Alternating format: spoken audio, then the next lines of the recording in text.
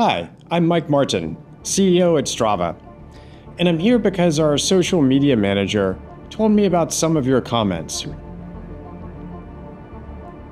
For example, this comment from Steph on X Can someone tell the idiot running Strava that dark mode is all we actually want?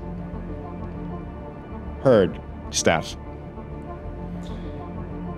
And from Noah over on TikTok for a company focused on helping people get fast, why are they so fing slow when it comes to dark mode? And here's one from Lucy on Reddit. Divert the damn staffing, Strava.